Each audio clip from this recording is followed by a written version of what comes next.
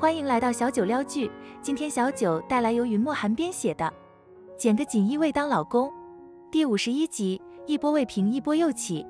金夏原本以为回到家和陆毅一起面对困难，事情就会有转机，可他万万没有想到，回到家的第一个清晨，发生了一件让他无比绝望的事。他居然在无意识的情况下，在床上方便了。此时的陆毅正端着一盆水进入他的房间。准备给靠坐在床头的他洗脸，陆毅还没走两步，金夏阻止道：“别进来。”陆毅停下脚步，刚想问怎么了，没问出口，一股难闻的味道扑鼻而来。他不问也知道是怎么回事了。他并没有退出房间，而是向金夏靠近。金夏这时害怕极了，这么丢脸的事，让他以后怎么面对陆毅？对着他大声吼道：“别进来！”陆毅不依，直径走到床边，将手里的洗脸盆放在床头柜上，随后手捏着盖在金夏身上的被子。金夏死死抓住被子，出去。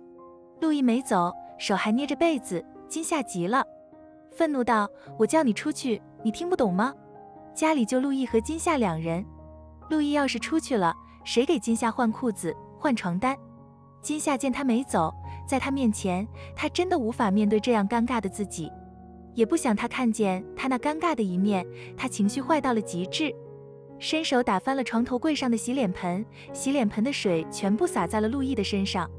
他哭着大声说：“出去，出去，你出去，我求你了。”最后一句他说的歇斯底里，陆毅此时又恨又无奈，也不知如何去安慰他。他本来就不善言辞，我让护工到家里来。金夏没有说话，也没有勇气看他，低着头。眼泪像断了线的珍珠一样，一滴接一滴的落在被子上。现在不是在医院，护工不能立刻赶来，最快也得二十多分钟。陆毅不顾自己身上湿漉漉的衣服，想再次给他处理，这比杀了金夏更让他难受。他咆哮道：“你出去，我不想看见你。忍二十多分钟总比情绪失控的好。”陆毅不再勉强，离开了金夏的房间，无能为力的站在金夏的卧室门口。卧室里的金夏后悔极了，恨自己昨晚为什么要心软和陆毅相认。他不想这样出现在陆毅面前，他想像一只娇艳的红玫瑰出现在他面前。即使他不能直立行走了，他心中还住着一只娇艳的红玫瑰。现在他唯一的盼头都没有了，活着还有什么意义？可是他真的不甘心，不甘心让害他的人今后吃香的、喝辣的，而他却要做一个冤死鬼，不甘心又能如何？他想给他的律师打个电话，可他的手机在车祸中损坏了，家里也没有备用手机。他知道陆毅就在门外，陆毅，去帮我买个手机。陆毅回说，等护工来了我再去。之后两人就没有了谈话，一个在屋里，一个在屋外，只剩一声声的叹息声，伴随着屋里时不时的哭泣声。陆毅在电话里给护工出了天价，两名女护工只用了十多分钟就来到金夏的家中。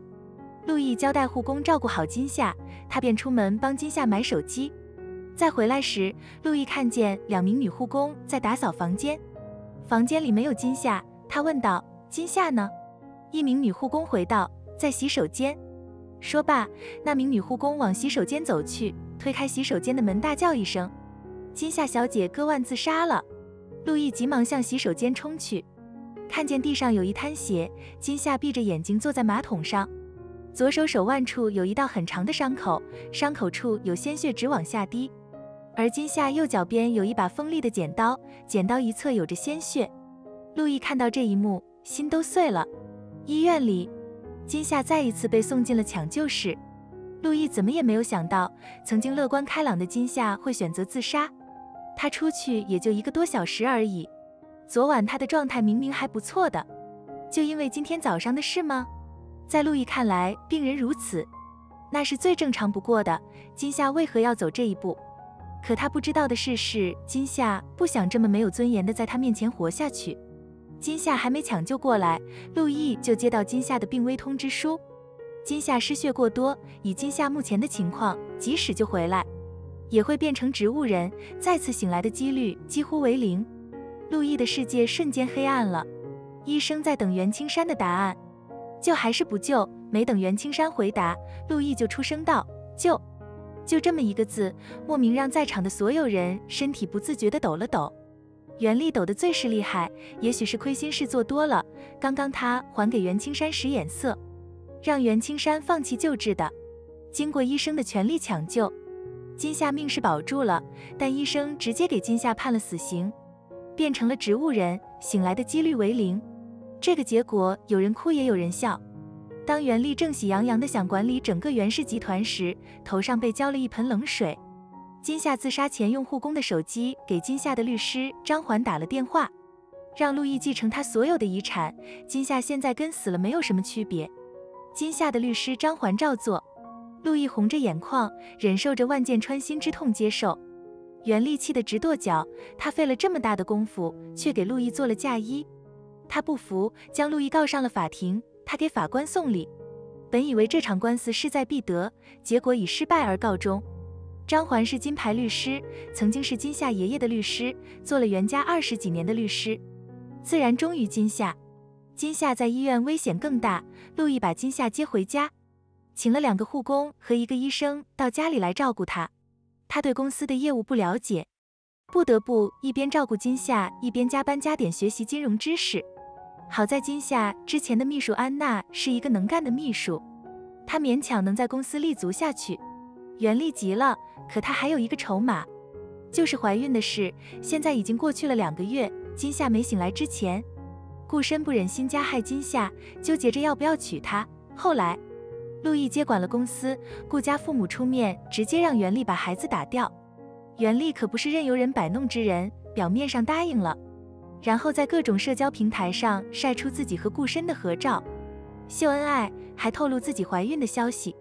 袁丽和顾深在一起，还怀孕的事一下子传开了，别人纷纷问顾家父母什么时候办喜酒。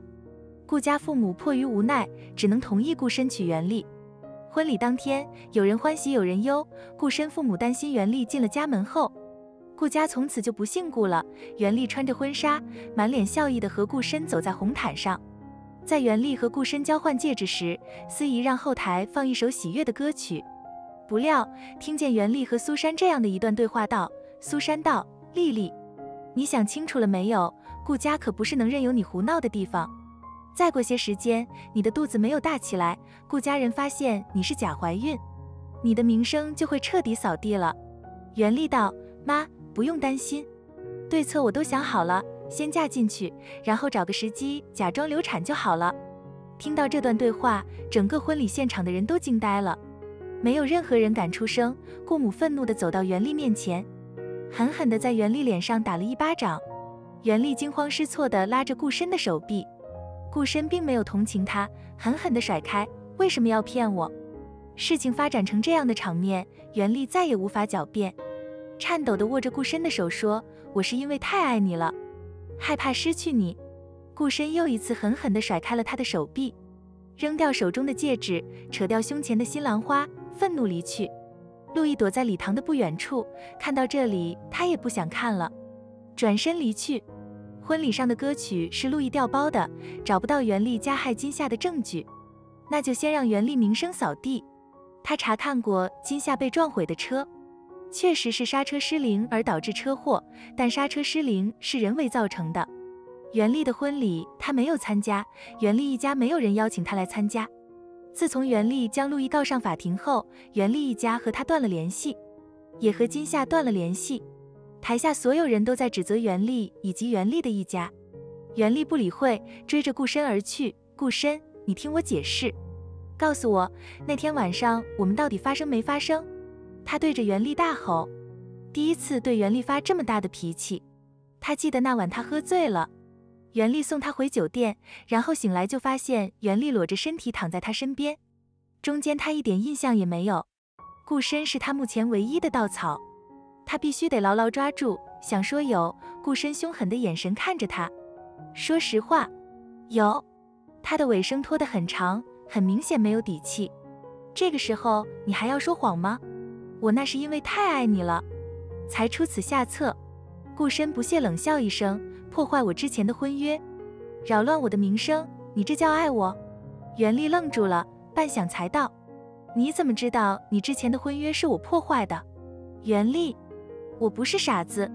留下这一句，顾深再也不想多说什么，把袁丽扔在原地，大步离去。他的眼睛会看，脑子会思考，他的酒量是多少他知道，酒后是什么品行他也知道，只怕有个万一，才相信了袁丽。陆毅没有学历，参加高考的事是公开的事，顾深绝不相信一只娇艳的玫瑰会对一棵小草低头。顾深失魂落魄地走着，从衣服里掏出一张发黄的照片。照片里是一个还在襁褓里的小婴儿，他抚摸着照片里婴儿的脸颊，心道：“小小，你在哪？哥好想你。”